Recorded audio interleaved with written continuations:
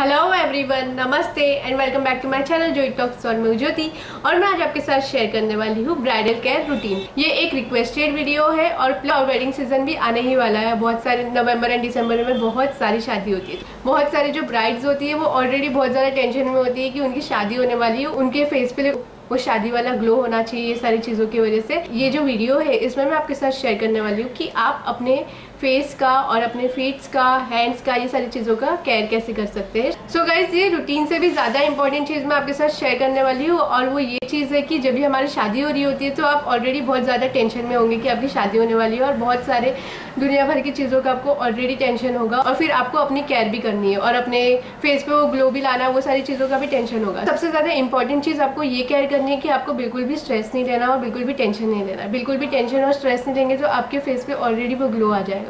सो so, इसीलिए पहले तो आपको अपने अगर आपको बहुत ज़्यादा पिंपल्स है अगर आपको ये सारी चीज़ें बहुत ज़्यादा बॉदर करी तो ये सारी चीज़ें बॉदर नहीं करनी चाहिए। और जो मैं आपके साथ रूटीन शेयर करने वाली हूँ उससे आपके जो फेस पे और ये सारी चीज़ों में थोड़ा सा इफ़ेक्ट नज़र आएगा।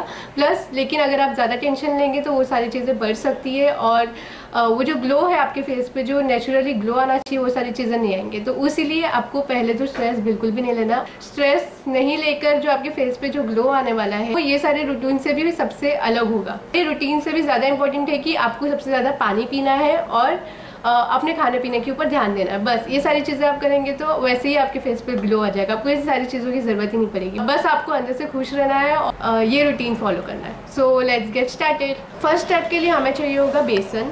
बेसन को आपको अच्छी तरह से अपने हाथों में लेकर इसके ऊपर थोड़ा सा पानी three two four drops of water add कर कर आप इसे अपने फेस पर मसाज करना है। जैसे कि आप फेस वॉश लगाते हैं, वैसे ही इसे आपको आपके फेस पे लगाना है और उसके बाद आपको आपका फेस वॉश कर लेना है।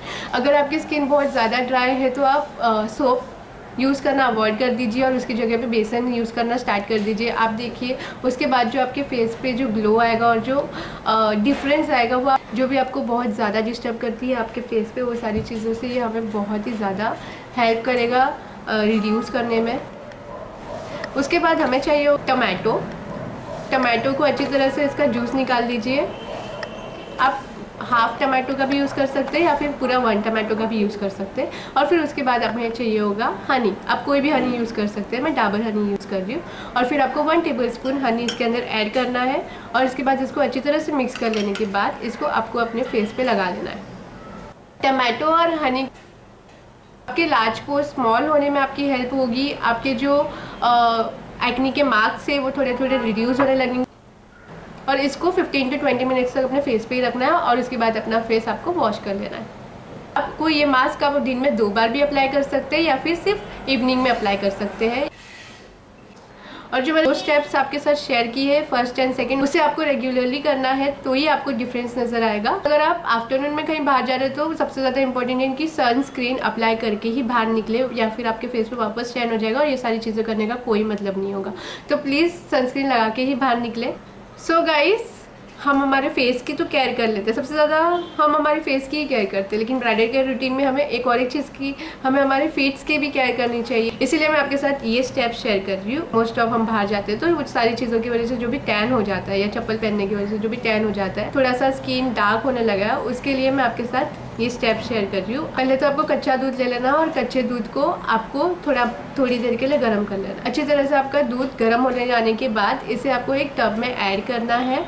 और फिर उसके बाद आपको इसके अंदर थोड़ा सा पानी ऐड करना है टैप वाटर और फिर उसके बाद आपको आपका फीट आपके पैरों को इसके अंदर डाल लेना है.